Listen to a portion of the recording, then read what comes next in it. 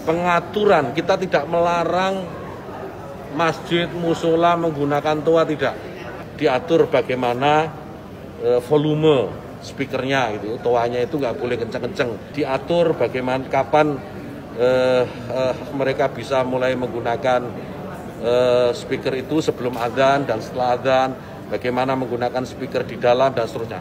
Tidak ada pelarangan dalam waktu yang bersamaan mereka semua menyalakan toanya di atas kayak apa? Itu bukan lagi siar tapi menjadi gangguan buat sekitarnya.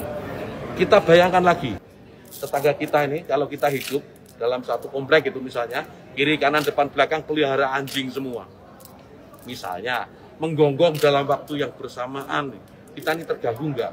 Artinya apa? Bahwa suara-suara ya suara-suara ini apa pun suara itu ya ini harus kita atur supaya tidak menjadi gangguan ya speaker